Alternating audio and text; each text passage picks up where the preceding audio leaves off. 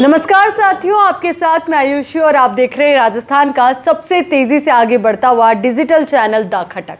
अगर आप भी इंतज़ार में हैं कि सरकार के द्वारा आपको फ्री मोबाइल फ़ोन मिल जाए या फिर राशन किट आप तक पहुँच जाए तो अब ये इंतज़ार जो है वो बहुत ज़्यादा लंबा होने वाला है।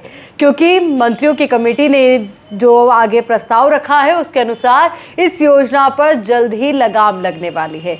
कहा जा रहा है कि ये योजना जो है लोक लुभावन ज़रूर थी, पर इसका कोई औचित्य नहीं है। ये चुनावी वक्त में किया गया एक बड़ा प्रयोग था, जिसका फ़ायदा शायद कांग्रेस पार्टी को तो नहीं मिल पाया, पर अब ये बड़ा सवाल भी उठ रहा है कि बीजेपी को इसका कितना नुकसान उठाना पड़ेगा। क्योंकि जब चुनाव आए गहलोत सरकार ने अहम फैसला दिया। इस योजना की चर्चा हर जगह हुई। कई लोगों तक फ्री मोबाइल पहुँचे, फ्री राशन किट पहुँचे। पर जब अब इस योजना पर ब्रेक लगाने की बात की जा रही तो निश्चित तौर पर अलग अलग तरीके की प्रतिक्रियाएँ आएँगी। कई लोग इसे सही ठहराएँगे तो कई इसे गलत भी ठहराएँगे। पर हाँ ये बड़ी बात है, जो लोग इसका इंतज़ार कर रहे थे, उन्हें एक बड़ा झटका ज़रूर लगा है। क्योंकि मंत्रियों की कमेटी ने ये अहम प्रस्ताव रखा है और सबसे बड़ी बात कि ये जब बात आगे जाएगी तो कहा जा रहा है कि बजरलाल सरकार की पहली वर्षगांठ पर कुछ अहम बदलाव किए जा सकते हैं, कुछ अहम फैसले सुनाए जा सकते हैं, उनमें ये भी हो सकता है। अब दूसरा मुद्दा या कहें कि सबसे ज़्यादा चर्चाओं में रहा मुद्दा। गहलोत सरकार ने जाते जाते राजस्थान में कई नए जिलों की सौगात दी। अब कहा जा रहा है कि बजलाल सरकार अपने एक साल पूर्ण करने के मौके पर हो सकता है कि कई नए जिलों को ख़त्म कर दे। यानी कि जो यथास्थिति में थे, उसमें पहुँच जाए। हालाँकि इसको लेकर भी कमेटी गठित की गई। कमेटी इसको लेकर के लगातार चर्चाओं का दौर करती रही। उसके बाद तमाम पहलुओं को ध्यान में रखते हुए इसको लेकर के पूरा प्रस्ताव तैयार किया गया, एक बड़ा विश्लेषण किया गया। और अब ये कहा जा रहा है कि आधा दर्जन ऐसे ज़िले हो सकते हैं, नए छोटे ज़िले वो होंगे जिनको वापस से यथा स्थिति में रख दिया जाएगा या कहें कि उन ज़िलों का अस्तित्व खत्म कर दिया जाएगा। तो ये बड़ा और अहम बदलाव जो आपको देखने को मिल सकता है। साथ ही आपको जानकारी दे दें कि बात यही नहीं रुकेगी। बात ये भी रहेगी कि वन स्टेट, वन इलेक्शन।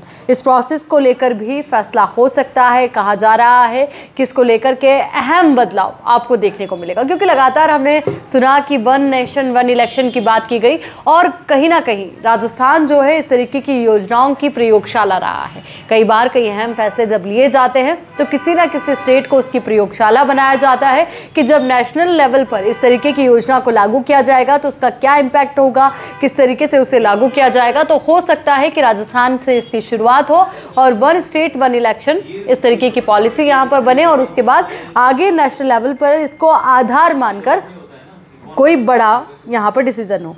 तो वहीं आपको जानकारी दे दें कि जनवरी में छः ग्राम पंचायतों और करीब 100 के आसपास शहरी निकायों का कार्यकाल पूरा हो रहा है।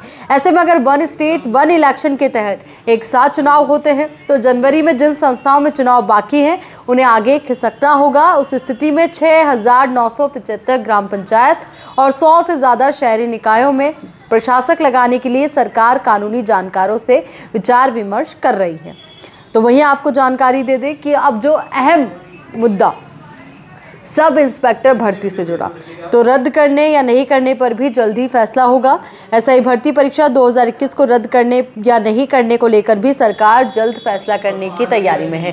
क्योंकि ये एक ऐसी कसमकश वाली स्थिति है सरकार के लिए, खुद के लिए, कि आखिर करे तो करे क्या? क्योंकि कहीं ना कहीं ये सरकार भी मान रही है कि हाँ इस भर्ती के दौरान कई गड़बड़े हुई है, गड़बड़े लगातार सामने भी आ रही है। हर स्तर पर इसको लेकर के जाँच पड़ताल की जा रही है। कई आरोपी जो है, शिकंजे में फंसते जा रहे हैं और कईयों को सलाखों के पीछे भी पहुँचाने की पूरी तैयारी की गई है। लगातार ये मांग उठती आई, कई जो चरण थे वहाँ पर, जिन लोगों का सिलेक्शन नहीं हुआ या कह लीजिए, वो कई लोग इस चीज़ को लेकर के ये डिमांड करते हैं कि भर्ती रद्द हो। पर वही कई लोग जिनका सिलेक्शन हुआ, जिन्होंने पूरी मेहनत की, वो ये कह रहे हैं कि भर्ती ना रद्द हो। कई तरीके के दावे हैं, कई तरीके की बातें हैं, पर सवाल ये कि आखिर इस भर्ती परीक्षा का किया जाएगा तो क्या किया जाएगा, हल क्या निकलेगा?